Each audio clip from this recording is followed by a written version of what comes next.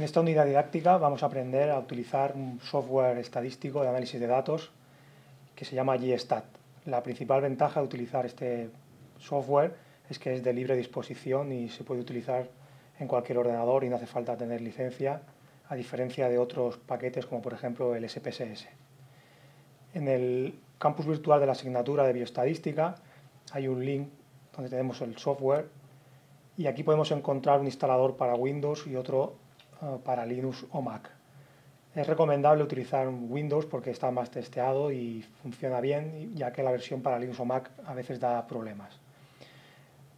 La idea es bajarse este archivo comprimido, descomprimirlo en vuestro ordenador y una, vez esté descomprimido hay un ejecutable que instala el programa en vuestra máquina es recomendable descomprimir el, archivo en el ordenador y hacer doble clic sobre el instalable una vez descomprimido, porque si lo hacéis directamente sobre la ventana que se abre, a veces suele dar problemas para instalarlo, sobre todo en portátiles o otro tipo de, ordenadores.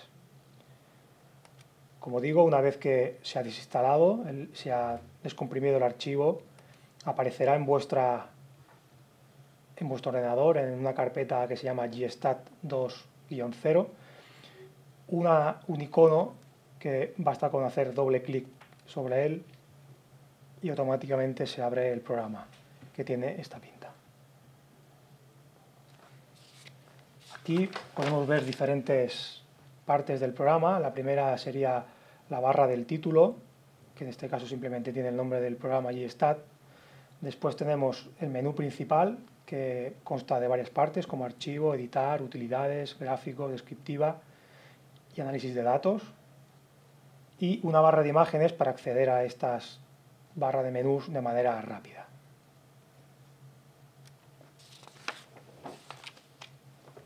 Vamos a ir viendo cada uno de estos eh, menús y principalmente los que vamos a utilizar en, en la primera parte del curso.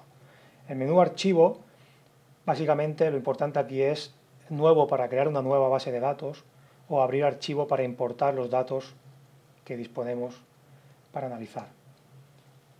Si hacemos clic sobre abrir archivos, se nos abrirá un navegador y debemos ir a buscar nuestros datos que, como veis aquí, tienen que estar en formato de texto.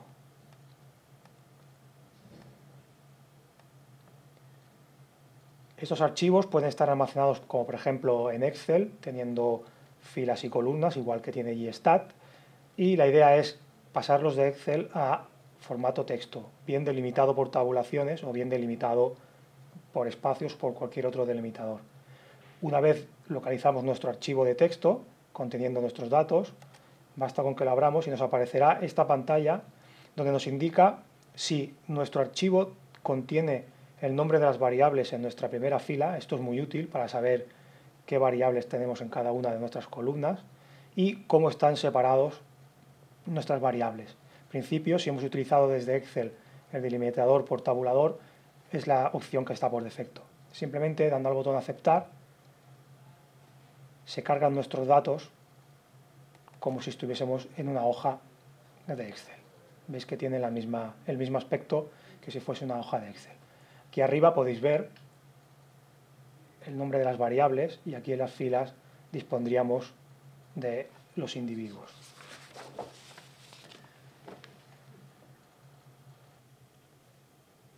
Una vez que hemos importado la base de datos, antes de empezar a hacer análisis estadísticos, nos puede interesar trabajar un poco las variables que tenemos en nuestra base de datos. Por ejemplo, podemos estar interesados en crear nuevas variables, como podría ser el índice de masa corporal, que tiene en cuenta la edad y el peso del individuo, o podríamos hacer unos cálculos que nos interesaran.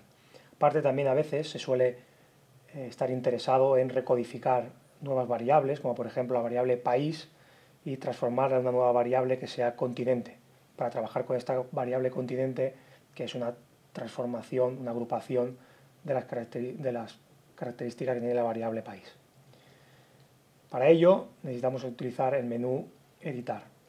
En este menú editar, una de las otras cosas que podemos hacer es eliminar una variable.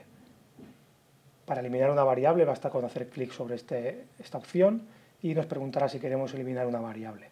En este caso, si damos así, lo que hará será eliminar aquella variable en la que el cursor estaba colocada en, en un principio. Este tipo de cosas no se suelen hacer con las bases de datos porque perder información no es interesante. Sin embargo, a veces en aquellos estudios que disponemos de mucha información y solo queremos analizar dos o tres variables, pues va bien eliminar estas columnas, pero en general eh, no lo haremos. Por eso le damos a no y dejamos la base de datos como está. Bien, otra cosa que vamos a hacer es insertar una nueva variable, que es crear una nueva variable que sea una transformación de algunas ya existentes damos a insertar la variable y lo que hace es crearse una nueva columna al lado justo de donde teníamos el cursor. Imaginemos que estamos interesados en calcular, por ejemplo, eh, una variable nueva que sea la edad al cuadrado. Esto no tiene mucho sentido. En vuestro caso podría ser interesante hacer, por ejemplo, el índice de masa corporal o cualquier otra transformación. Vamos a empezar un ejemplo sencillo que sea edad al cuadrado. Lo que tenemos que hacer es poner este nombre a esta nueva variable damos al botón aceptar y se nos crea una variable vacía. Para completar esta variable que sea una transformación de la variable edad, tenemos que ir a otro menú que es el menú de utilidades. Damos a utilidades y vamos a la opción de transformar. Al dar esta variable transformar, lo que nos pide es qué variable queremos transformar en qué otra variable. Por ejemplo, ponemos la variable edad, la marcamos y le decimos que queremos transformarla en la variable resultado que sea edad al cuadrado, porque es la variable que tenemos aquí marcada. Entonces, una vez que tenemos esta variable que es la que queremos transformar, con este botón podemos hacer operaciones con ella. Por ejemplo, imaginemos que queremos hacer la edad al cuadrado, pues simplemente tenemos que buscar aquí si existe esta transformación. En este caso tenemos este simbolito que significa elevar a. ¿Vale? Entonces lo que hará será esta variable la elevará a el valor que pongamos aquí, por ejemplo 2. Si queremos hacer transformaciones que tengan en cuenta dos variables, como por ejemplo la diferencia de una variable con otra, por ejemplo cuando queremos calcular un tiempo de seguimiento o algo parecido, basta con poner una variable aquí y otra variable aquí y decirle que queremos restar los valores de estas dos variables. Si damos a aceptar, lo que se nos ha hecho es que nuestra variable edad se nos, ha transformado en una variable edad al cuadrado que podemos utilizar posteriormente para realizar otro tipo de análisis. Otras cosas que se pueden hacer que son interesantes es recodificar una nueva variable. Para ello utilizamos del menú utilidades, la opción recodificar.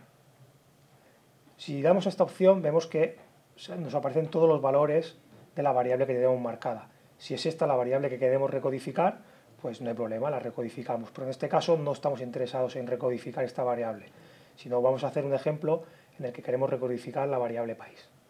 Para ello entonces nos pondremos sobre la variable país y volvemos a dar a recodificar.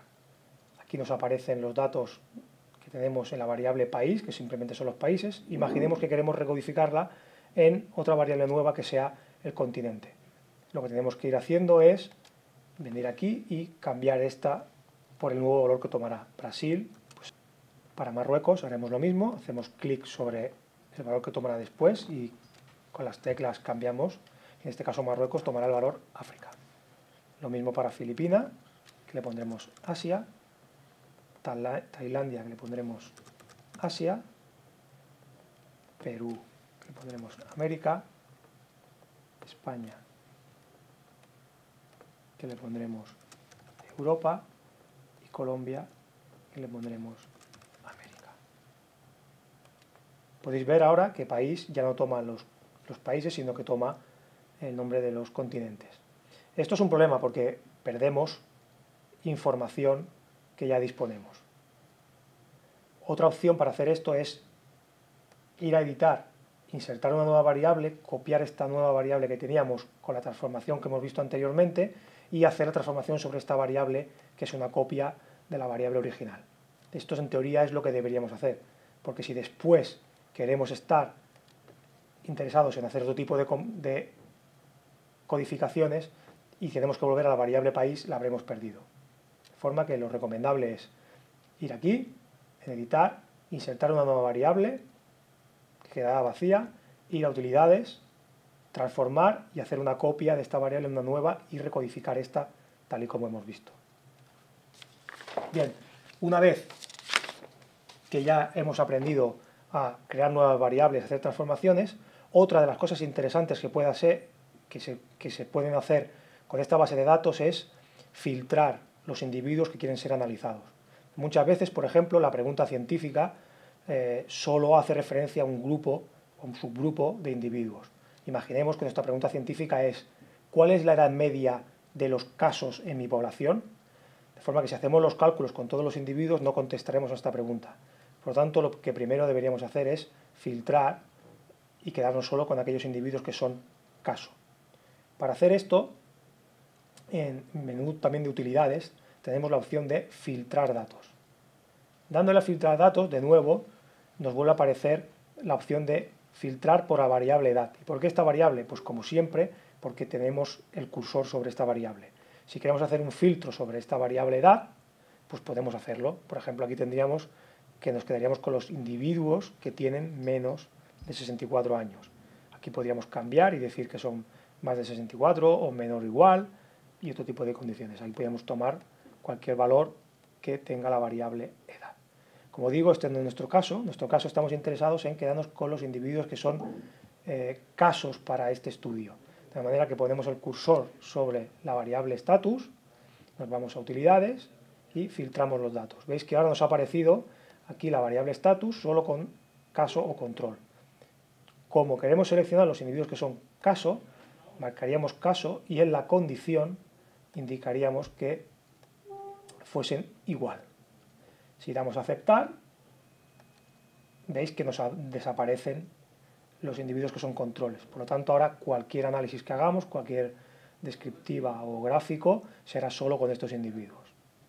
Una vez ya hemos recodificado y creado nuestra variable de interés y filtrado los datos que queremos realmente analizar, pues ya podemos empezar con la parte de análisis estadístico, tanto descriptivo como inferencial.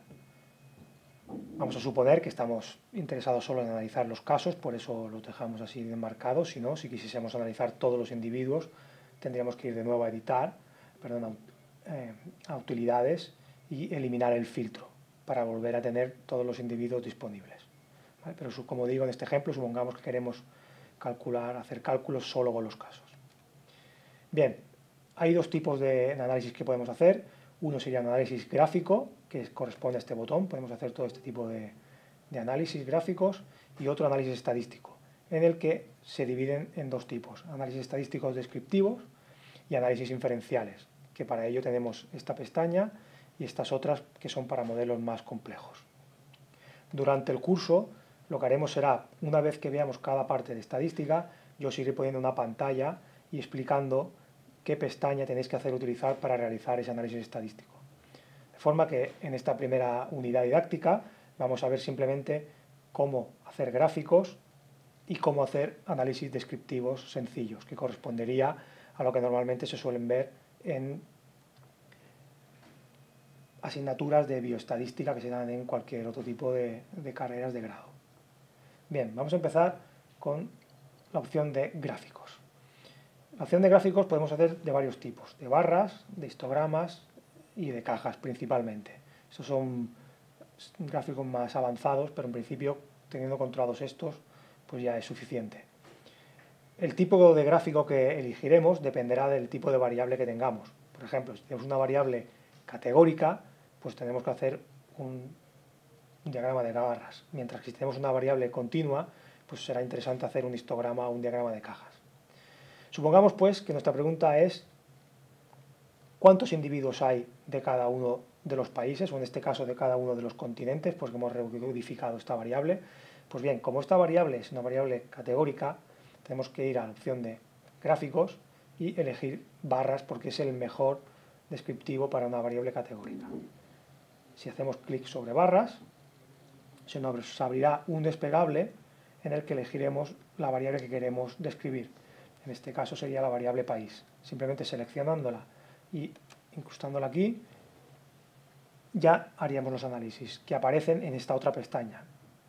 Hacemos clic sobre esta pestaña, pues vemos que tenemos una descriptiva de nuestra variable por países. Aquí tenemos la frecuencia de cada uno del número de individuos que hay en Europa, en Asia, en África o en América.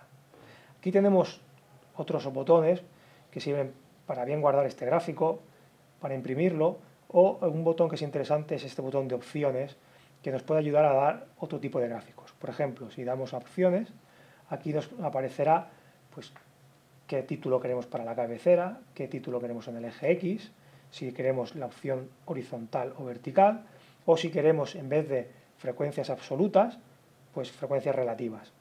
En otro modo de hablar, porcentajes. Supongamos que queremos nuestro gráfico de forma vertical y no horizontal y que queremos las frecuencias o porcentajes, frecuencias relativas o porcentajes de nuestros individuos para cada uno de los continentes. Bien, si le hacemos aceptar, veis que el gráfico cambia. Ya no está horizontal, sino vertical y ya aparece la frecuencia relativa y no aparece el número de individuos que hay para cada uno de los continentes. Veis que una cosa importante, por si no se ve bien dónde toma este valor esta barra, es poniendo el cursor encima, nos aparece el valor exacto que tomaría, en este caso 33,64%. Bien, esto es en cuanto al tipo de variables, eh, digamos, categóricas eh, o discretas, que se pueden resumir mediante eh, gráficos de barras.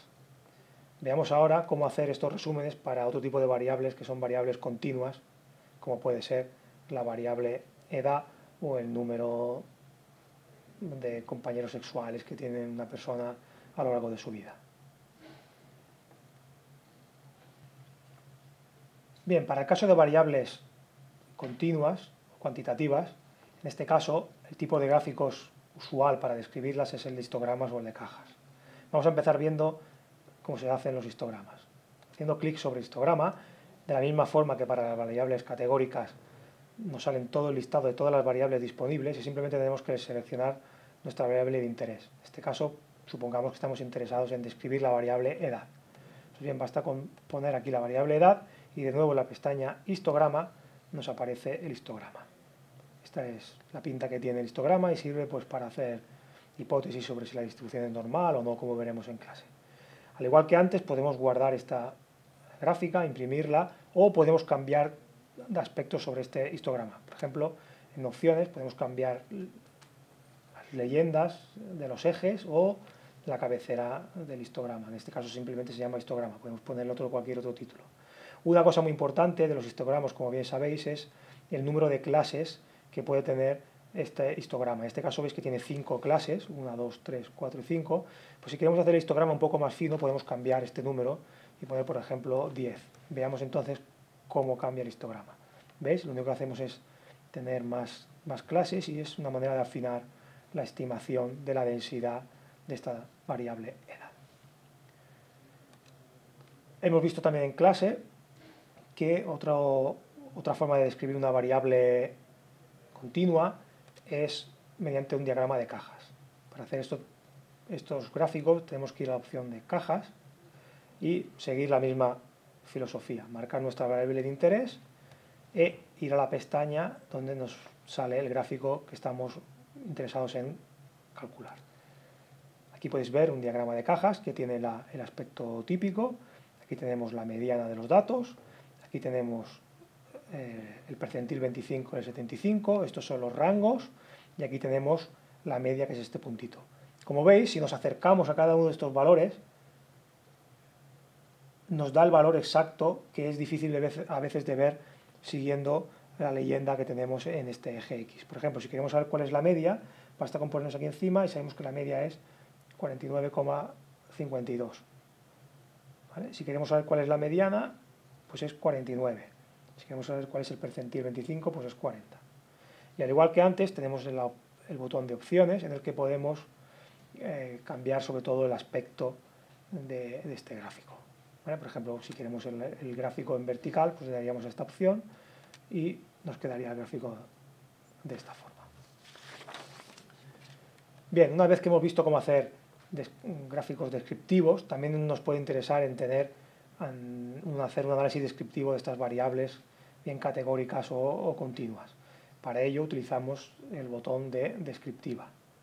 Si veis, este programa es bastante intuitivo porque simplemente nos basta con saber qué tipo de variable estamos tratando, si cualitativa o cuantitativa, para saber qué descriptiva vamos a hacer. El ordenador ya sabe que la mejor descripción para variables cualitativas son las frecuencias absolutas o relativas y también sabe que para una variable cuantitativa el mejor estadístico resumen pues es la media, la moda, la desviación típica, la varianza.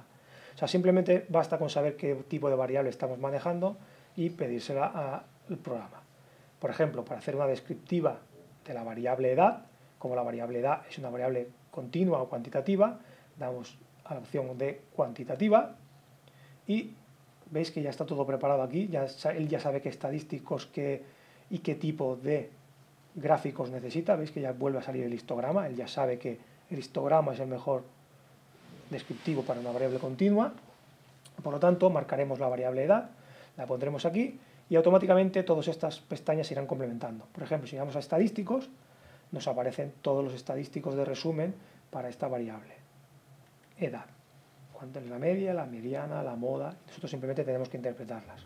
Como siempre tenemos el botón de opciones que nos permite sacar más o menos eh, descriptivos, pues marcándolos o desmarcándolos. Lo mismo para la pestaña cajas, que nos sale el diagrama de cajas, que es el mismo que antes, o el histograma, que es el mismo de antes, o el botón percentiles, que nos saca los percentiles de esta distribución. Bien, pues veamos ahora un ejemplo de cómo hacer una descriptiva de una variable categórica. Por ejemplo, la variable país, que en este caso, repito, es la variable continente porque la hemos recodificado. Pues para este caso, como es una variable cualitativa, pues damos a la opción de cualitativa y seleccionamos nuestra variable de interés, país. Fijaos que ahora solo aparecen dos pestañas. ¿Por qué? Porque el estadístico descriptivo para una variable cualitativa son las frecuencias relativas y absolutas y el descriptivo gráfico es el gráfico de barras. Si venimos aquí a las frecuencias, pues tenemos una descriptiva de cuántos individuos hay en América, cuántos en África, cuántos en Asia y en Europa y cuál es su frecuencia relativa o porcentaje. Lo mismo para el gráfico de barras. Tenemos el mismo gráfico que anteriormente. O sea que esto es una manera de ir pues, un poco más rápido y tener más información que no solo hacer eh, un gráfico todo funciona igual. El botón de opciones es el mismo que aparece en la opción en el menú de gráficos. Bien, a veces interesa hacer gráficos con dos variables. De la misma forma que antes, en la opción de descriptiva, aquí tenemos esta opción para hacer una descriptiva de variables cualitativas de una variable respecto a otra, y lo mismo para una cuantitativa. Veamos un ejemplo para un análisis descriptivo de una variable cualitativa en función de otra segunda variable cualitativa. La única diferencia es que aquí nos aparecen un cuadro más grande en el que podemos poner eh, varios tipos de eh, más de una variable. Por ejemplo, vamos a poner la variable país y vamos a poner la variable co, que es una variable que nos determina si tomaron o no anticonceptivos orales. Dándole a esta variable pues aquí tenemos la opción de frecuencias y tenemos una variable país y una variable anticonceptivos orales. Esto va bien en el caso, como digo, que estamos interesados en analizar no solo una variable, sino dos variables o tres o cuatro, para no tener que estar haciendo una descriptiva de una variable, otra descriptiva de otra variable y otra descriptiva de otra variable. Aquí las tenemos todas y esto pues podemos imprimirlo, tener una, otra y otra y así tener un resumen rápido de nuestras variables de interés. Bien, lo mismo se puede hacer para una variable cuantitativa.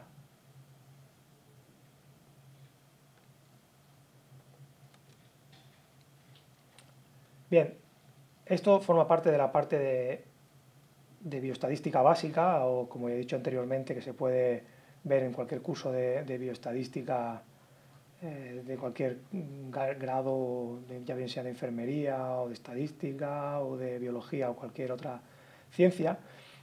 Y en cuanto a los análisis estadísticos, pues bien, se suelen ver los análisis estadísticos eh, más sencillos. Para hacer estos análisis estadísticos tenemos que ir al botón de análisis. En este caso vamos a mostrar un análisis muy sencillo, puesto que la idea de este curso es que a partir de ahora todos, todos estos procedimientos los vayamos viendo paso a paso y como he dicho anteriormente, estos procedimientos después de explicar la teoría, yo explique con una serie de, de pantallazos del GStat cómo se hacen cada uno de estos análisis estadísticos. Por ejemplo, supongamos que queremos hacer un análisis, y queremos hacer un análisis del cálculo de una proporción y hacer su intervalo de confianza al 95%, o una comparación mediante una t-de-student. Pues bien, al igual que antes, aquí solo nos basta con saber qué tipo de variable estamos tratando, porque él ya nos dice qué test estadístico es necesario. Por ejemplo, para una variable cualitativa, como puede ser el sexo, hombre-mujer, todos sabemos que el estadístico descriptivo para hacer los análisis es una proporción. Mientras tanto, pues, si la variable es cuantitativa, como por ejemplo el nivel de hemoglobina o la edad, lo que necesitamos es utilizar una t de estudio. Pues bien, esto el programa ya sabe qué test utilizar, nosotros simplemente tenemos que indicarle eh, si nuestra variable es cualitativa o cuantitativa. Supongamos que queremos calcular el intervalo de confianza para la proporción de mujeres que toman anticonceptivos orales. Como anticonceptivos orales, que es esta variable co, es cualitativa, basta con ir a la variable cualitativa, marcamos una proporción cogemos nuestra variable co y aquí nos dará todo lo que necesitamos. Son, por ejemplo, las frecuencias, el mismo gráfico de antes, y aquí en z proporción pues nos dará el intervalo de confianza y el test estadístico que nos dice si esta proporción es igual o distinta. Veremos en clase que estas opciones de que el intervalo de confianza sea del 95% o que testemos la hipótesis nula de que la proporción es del 50% o 0,5, pues se puede cambiar, porque a veces no nos interesa testar si hay la mitad de gente que toma anticonceptivos orales o no. Entonces esto pues se puede hacer con, con el botón de opciones. En general, el GStat, siempre que queramos cambiar algo que sale por defecto, el botón opciones nos solucionará nuestro problema.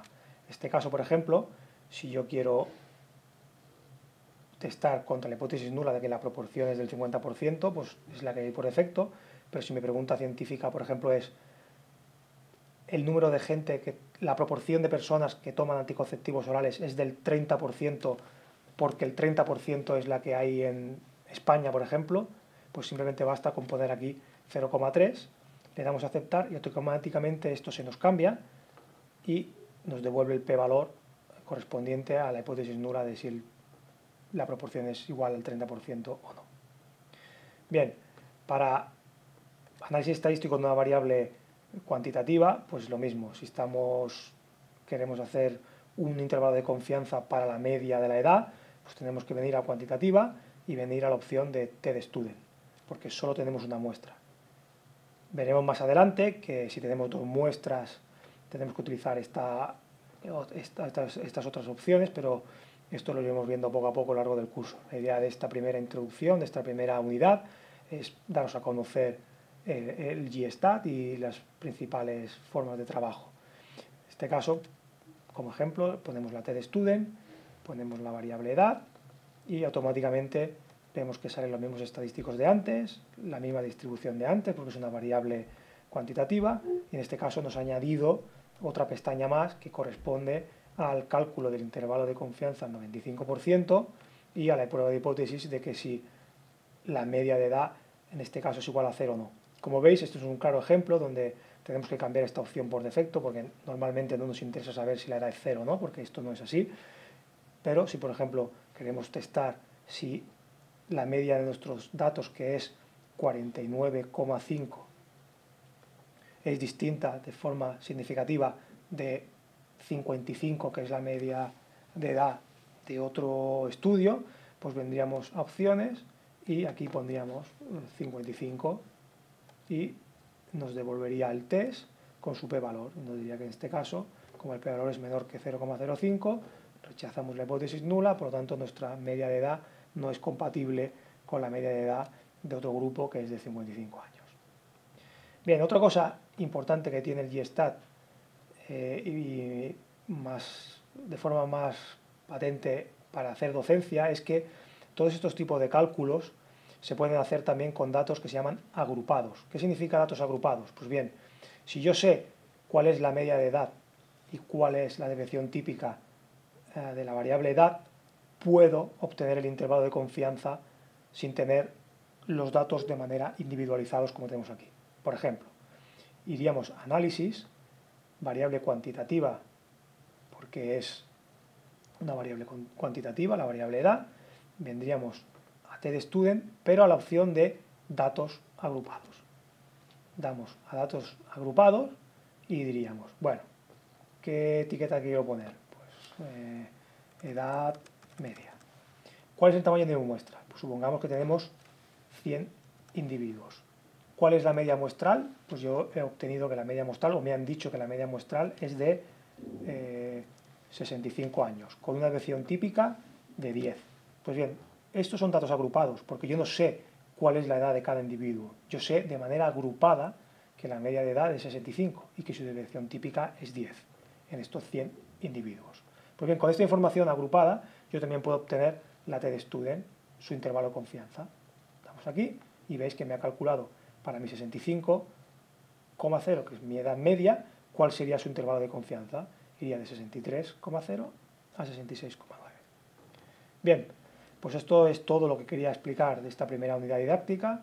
Como he dicho con anterioridad, pues es hacer una introducción a este paquete estadístico que es libre y a medida que vaya avanzando el curso iremos viendo cómo hacer análisis estadísticos más complejos que se pueden realizar con este software.